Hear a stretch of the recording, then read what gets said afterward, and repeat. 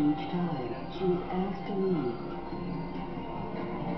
There we go, we got Volcanion up in here. Each time, she found her way back. We got Hoopa up in here too. She put up their mates drinking in the shed. She had dinner ready when they got home. Generally, You she see, she- how to keep you know, psychic. do it like that. Hyperspace She's a Hole, very hard woman. very Shadow Ball, Nasty Plot. uh, physically.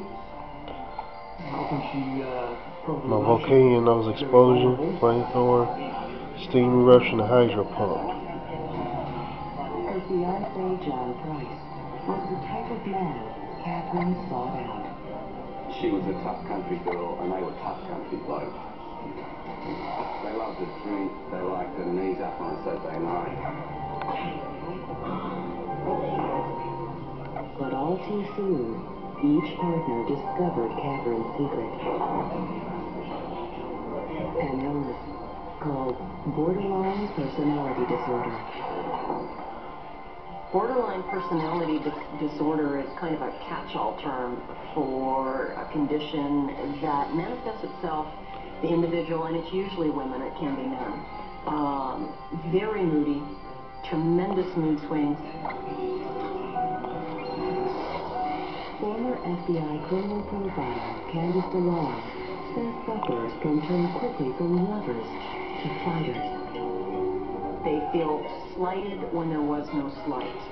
They are prone to being very suspicious that their partner is cheating on them. Everything reflects back to somebody is taking advantage of me and I must do something about it. John Price usually weathered the stormy Catherine, knowing the loving Catherine would soon return. Then one day, his partner went over the line, threatening his job at the coal mine with a home video. She filmed the, contents of his garden shed, and in Pricey's garden shed was a first aid kit from the mine, which he'd allegedly stolen. The pair had argued over money. Catherine wanted revenge. She sent the video to the mine boss, suggesting John was a thief.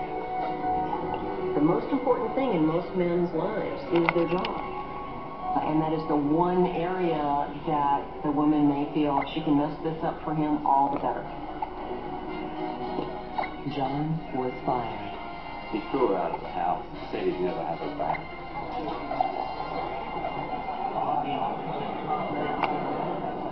Unfortunately, he had her back within six months because Catherine turned on the sweet, love inside again and uh, got back in there somehow.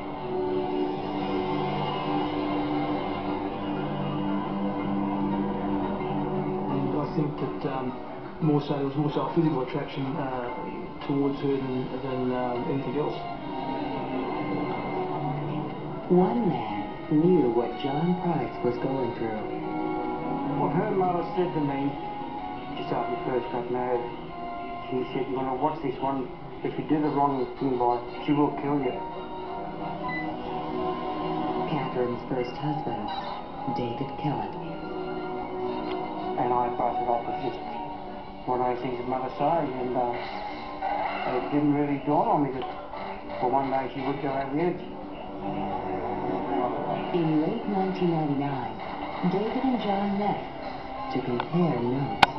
I John Price, and um, he said to me he wants to get out of a relationship, but he's scared to get out. And I said, well, these days, we take all the uh, domestic violence orders against each other, whatever. And he was just so scared, he was almost shaking. He, he was really scared. Little did either man know, Catherine would soon commit one of Australia's most shocking crimes.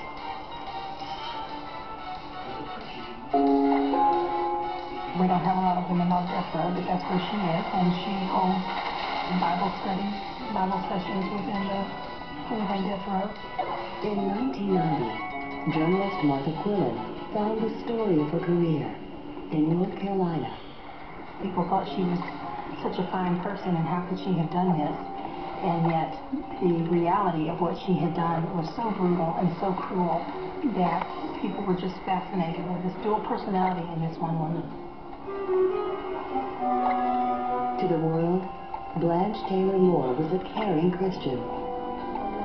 a compassionate woman, led by spiritual commitment.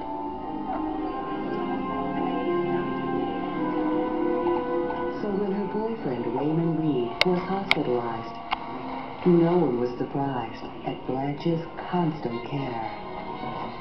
She was sort of beloved, I think, on the floor where he stayed, and the nurses testified that they thought she was a wonderful person and very caring, and that, you know, Raymond was very lucky to have someone like that coming to see him.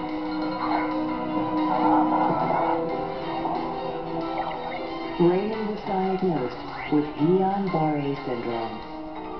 Guillain-Barré syndrome is also known as French polio. It is a autoimmune disorder. The, the symptoms are muscle weakness, uh, nerve tingling, uh, progressive fatigue, and eventually may even lead to difficulty breathing.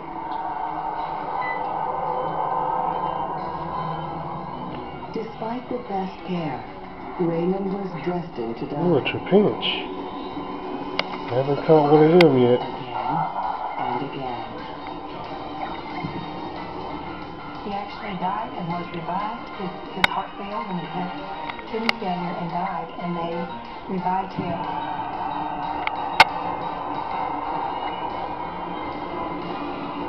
Several times, Raymond died a clinical death, losing heartbeat and respiration.